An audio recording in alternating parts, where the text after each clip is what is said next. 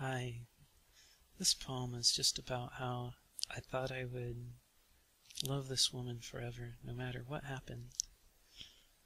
Uh, it's titled Everlasting Love. What is it about you that makes my stomach turn, my heart beat fast, my mouth curl? Is it your beautiful smile, your sexy lips, the sweetness of your voice, or just what whisper or just what whispers me? The many things we had and shared, the sunsets, the candlelight dinners, our passion and love, the ways we talked and laughed, were only dreams before we met, now turned into reality. How I wish this will last for eternity. Thanks.